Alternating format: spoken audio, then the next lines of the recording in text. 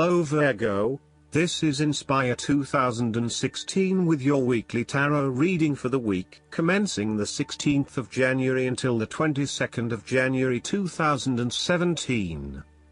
The first card for you is representing, how do you feel about yourself? Your card is the Three of Pentacles. Finally, you will experience prosperity and success in your goals, only if you continue to work toward the fulfillment of your dreams and do not allow disillusionment to dampen your enthusiasm. You need to do work that is satisfying to you and that you can be truly proud of. What new beginnings are you experiencing in the material realm? Is there some project or creative venture you have been putting off because of fear of failure? The Three of Pentacles indicates that dreams can be made real with persistence, determination, and effort. The Three of Pentacles may also suggest that you need help to complete your work and can draw on the knowledge and experience of others. It may be beneficial to share your work with a partner but only if they are as conscientious as you.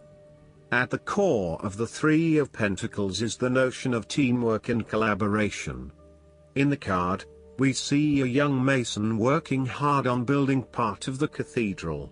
The two monks enter, with their worldly knowledge and spiritual understanding to bring a new perspective to the mason's work.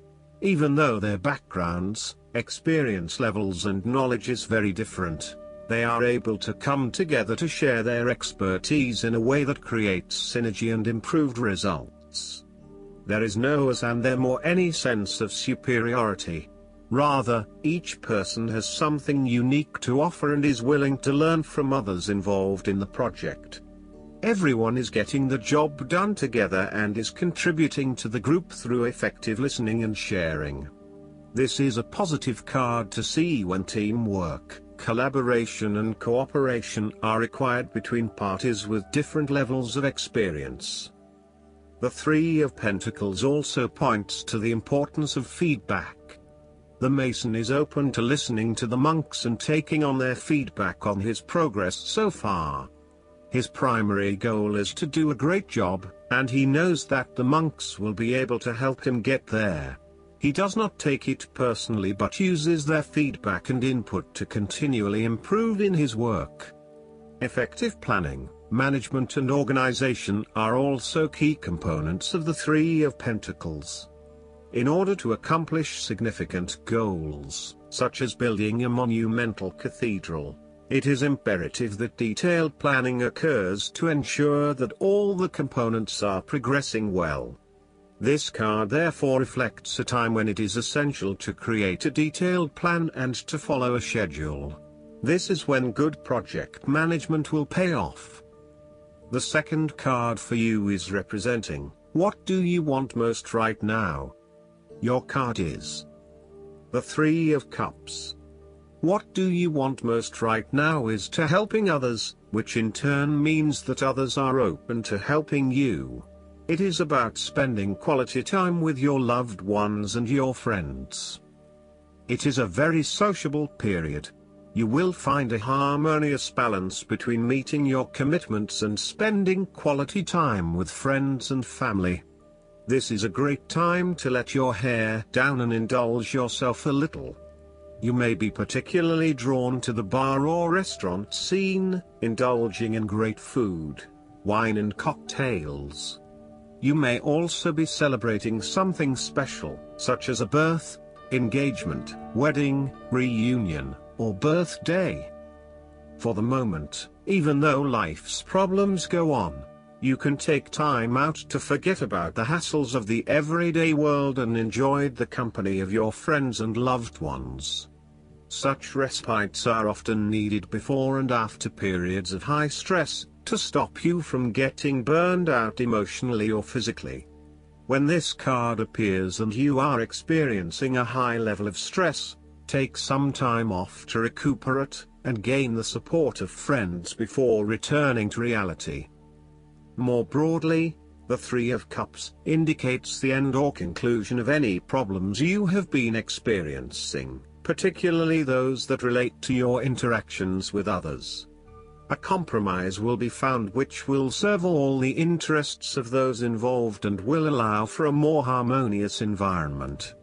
You can facilitate this process by bringing about positive change within yourself and changing your attitude and the way you react or deal with what is happening.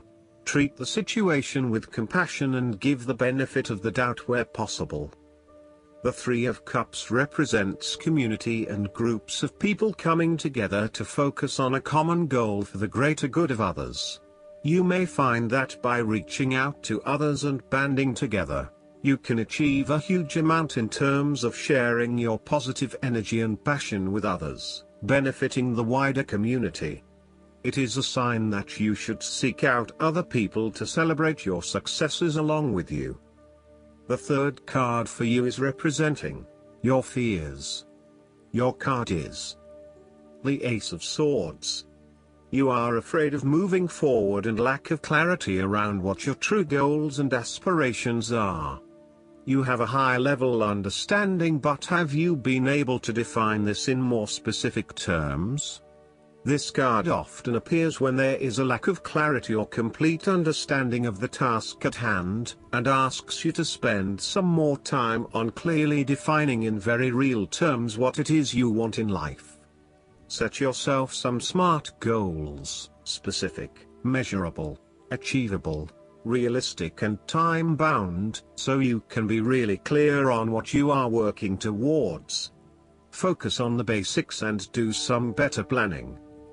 The Ace of Swords also reflects an idea or concept which you have not yet put into action, perhaps because you are unsure about whether or not it will bring the results you want. You are having difficulty with the early stages of formulating an idea, a plan or your goals. You may have too many ideas on the go and are unable to make a decision, creating challenges with completion.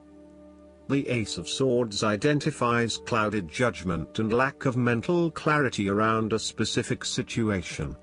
You are missing important information or evidence that will assist you in your predicament, so invest your time and energy into seeking out the truth, rather than simply taking things at face value.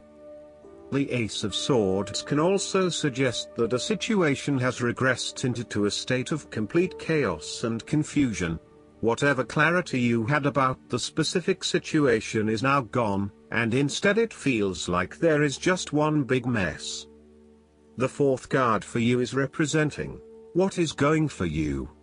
Your card is the Nine of Cups.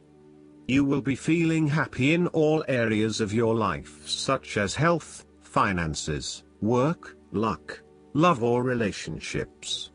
This is your wish card as its appearance is often taken as a sign that, whatever your heart's desire, it shall be granted in the coming days or weeks. Know that you have paved our own way on the path to success. As a cups card, the 9 usually refers to an emotionally fulfilling situation, such as the strengthening of a romantic bond, the solidification of a friendship or the consummation of a sexual relationship. It shows that joy and happiness are within your grasp. In fact, you probably already have them. It is a sign to enjoy the abundance of life and to feel each of your emotions as if you had never felt any of them before. See the perfection all around you. The Nine of Cups is also about counting your blessings, living in the moment, and enjoying the good things that life has to offer. Start or end every day by creating a mental list of the three things you are most grateful for. You will find that over time, you indeed have a lot to be happy about and it may increase your feeling of deep contentment and fulfillment. The Nine of Cups represents stability and advancement. This card signals delight and pleasure, contentment with what you have accomplished so far and forms a steady foundation for the future. Your worries are all in the past and you can look forward to a bright future. The man in the Nine of Cups also appears to have a certain smug look on his face. Indulge yourself in knowing that you have worked hard to get here and you have achieved the results you had hoped for. The fifth card for you is representing what is going against you. Your card is the King of Wands. You are afraid of a male significant figure in your life who is from fire signs, who can be dominating, pushy, and overbearing at times. This is rarely done with malice or an intention to make someone else submissive. It is just a strong tendency that sometimes takes control. He does not even realize when he crosses the line between being assertive and aggressive. At worst, the King of Wands typifies the most selfish, ruthless qualities of fire. He can denote a manipulative business contact who will use you as long as it serves his purpose.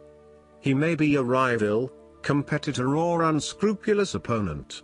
In love, he represents a delightful flirtation that could wreak emotional havoc. He is only suitable for limited liaisons, holiday romances or brief, passionate encounters. His flames are bright and warm but soon die down. As an aspect of yourself, the King of Wands can suggest that you have set your expectations of yourself too high and may struggle to achieve those expectations. As such, you may end up feeling like a failure because you have not been able to achieve what you want in both areas of your life. Set more realistic goals for yourself and know that you cannot do everything nor please everyone. There may also be times when you become frustrated with the lack of progress in your endeavors, particularly if this is being influenced by your dependence on others. You may find that there are some people who are holding you back and preventing you from fully realizing your dreams and goals. If this is the case, it is best to cut them loose as no amount of energy will change their perspective. You may also need to be a bit more lenient on others and accept that not everyone has as much energy and drive as you to achieve results. Accept what they have to offer and do not expect anything more. The last card for you is representing the likely outcome that you may have. Your card is the King of Pentacles. You are about to reach the final fulfillment of a creative task, business venture, or investment. Through diligence, responsibility and attention to detail you have achieved great things and can finally say that you have completed your task or attained your goal. You can now enjoy all that you have accomplished and the successes you have created. You have created a richness of life, not just financially but also spiritually which will set you up very well for the future. Whenever you need the skills to manage your day-to-day -day affairs competently and efficiently, you can call upon the King of Pentacles. Work hard, methodically and conscientiously. Give generously of your time and resources, because by giving you often receive more, and making more money is something that all kings of pentacles love to do. The King of Pentacles indicates that a methodical, planned and well thought out approach will lead you to success. Many consider the King of Pentacles to be dull and unimaginative but this is a likely consequence of his preference to do things in the most tried and tested way. You have experimented in the past with what works best and have landed on your own methods and practices that you know will continue to work for you in the future. So, you continue down this path rather than trying new ways of doing things. You know that you have reached the height of achievement and you do not need to take any more risks. The King of Pentacles also calls on you to be pragmatic and to stay informed on practical matters. You need to get down to the basics and use your problem-solving ability to get to a solution. You also need to be able to leverage your various skills and resources in order to create success. This king can also play the political game well, interacting comfortably with everyone, no matter what his or her status. Last but not least, the guidance card for you is the release. This card signifies that it is time to move on because this project or phase of your life is now complete. There is no benefit in remaining in this situation. Instead, shake off the old and welcome the new. You may experience a sense of relief at this ending, or there may be some sadness. Either way, it's time to leave that which you've outgrown. Take your time in adjusting to this change in your life. It is not necessary to rush ahead. Be kind to yourself during this period of transition, and seek the support of friends and family. Additional meanings of this card Inevitable positive changes. Facing your fears. Relationship transitions. Spiritual evolution. Archangel Azrael heals your heart when changes and losses bring about grieving. Call upon Azrael to help you move forward fearlessly and let go of the past. I hope that you enjoy everything and if you like the reading just please click subscribe and you will get the instant notifications every time we publish a new video right to your uh, YouTube. Thanks.